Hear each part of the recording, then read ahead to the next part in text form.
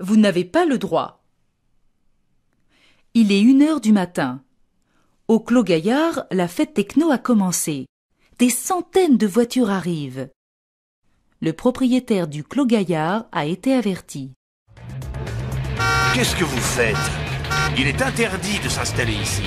On n'a plus le droit de s'amuser? Il y a des endroits pour ça. Et qu'est-ce que ça peut vous faire? Ces champs ne sont pas cultivés? Nous sommes loin de tout De quoi avez-vous peur? D'être obligé de nettoyer pendant un mois. On vous promet qu'on nettoiera. Moi, je veux bien tolérer que vous fassiez votre fête ici, mais s'il y a un problème, Un chercheur. Adrien Demange est chercheur au Centre de recherche en génétique des végétaux. Il donne aussi des cours à l'université. Il est 22 heures. Il rentre chez lui. Excuse-moi, je suis en retard. J'ai l'habitude. Toujours tes expériences sur les champignons? Ben oui, toujours. Il y a quelque chose à manger? En cherchant bien dans le frigo. Tu dois trouver un reste de poulet. Tu as l'air fâché. Adrien, ce n'est pas en travaillant jusqu'à 10 heures du soir pour Mé... C'est en faisant quoi alors? En refusant de travailler sur les articles de Ménadier. Et en publiant sous ton propre nom. Tu es son assistant. Tu n'es pas son esclave. Oui, mais tout ça est bientôt fini. Paul Pignon prenant sa retraite en juin, c'est moi qui dois lui succéder. Ne vends pas la peau de l'ours avant de l'avoir tué. Déception.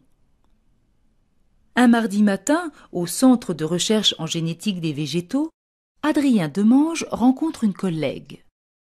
Tes oreilles n'ont pas sifflé hier soir? Pourquoi? On a parlé de moi? Ménadier nous avait réunis. Florence Mauget, Pignon et moi. Tu as demandé à Pignon s'il allait prendre sa retraite? Oui, il nous l'a confirmé. Je leur ai fait remarquer que tu serais un excellent chef de service. Et qu'est-ce qu'ils ont dit? Que tu n'avais pas assez publié. Et Ménadier n'a pas pris ma défense? Non. De toute façon, ils veulent Marianne. Ils ont dit que les grands laboratoires l'appréciaient beaucoup. Mais tous ces étudiants répètent qu'elle est nulle. Écoute, il y a peut-être un moyen de les faire changer d'avis. Motivation. Jeudi 20 juin, 11 heures, à la faculté de droit de Bordeaux. Les résultats des examens de licence sont affichés. Alors, tu as réussi? Non, mais j'ai failli, hein. J'ai eu 9,5 sur 20. Qu'est-ce qui n'a pas marché? Le droit international. Je n'ai pas eu de chance. Je suis tombée sur le droit de la famille à Madagascar. Donc tu vas passer les vacances à réviser. D'abord, je vais partir. 10 jours, n'importe où. Je vais entrer dans n'importe quelle agence de voyage et je prendrai ce qu'ils me proposeront à 300 euros maximum. N'importe quoi.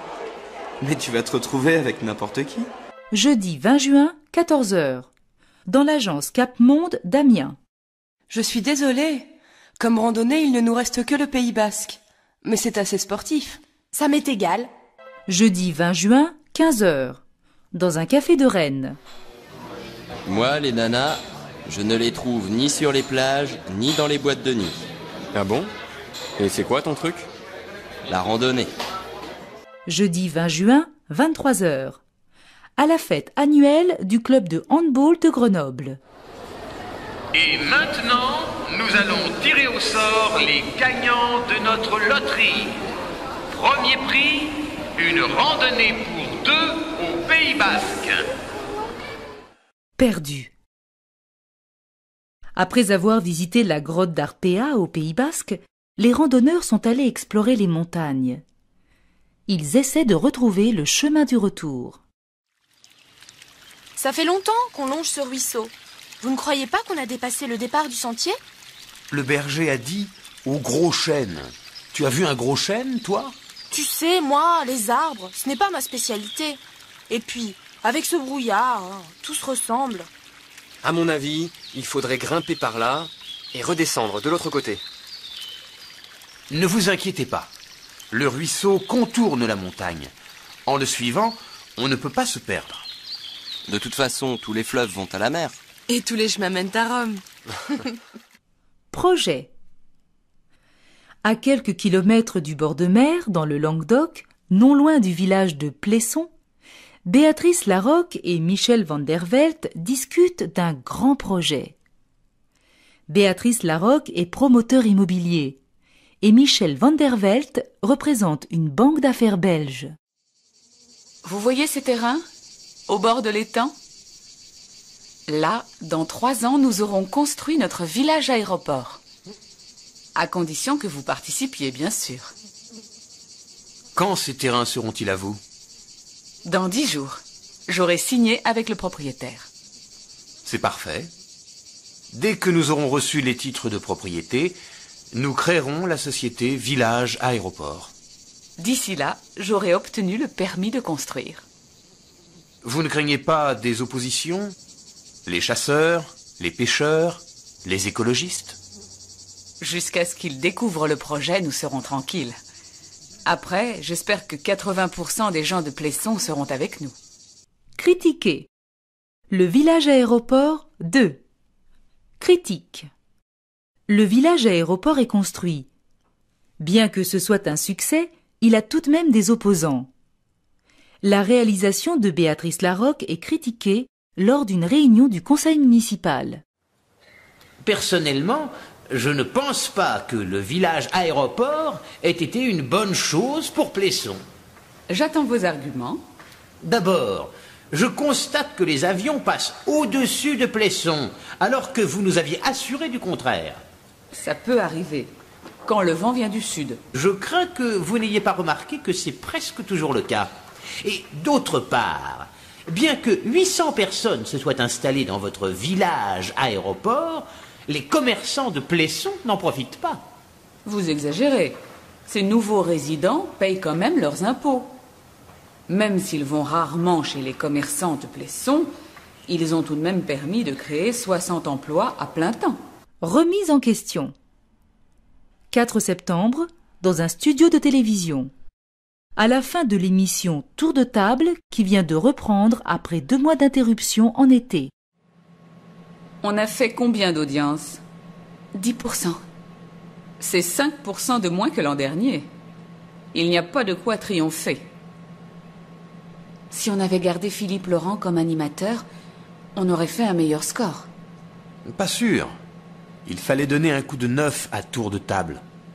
Ce n'est pas l'animateur qu'il aurait fallu changer. C'est l'émission. Elle a raison. Les gens en ont assez d'entendre parler de leurs problèmes. On dit qu'avec débat, TV4 aurait perdu 4%.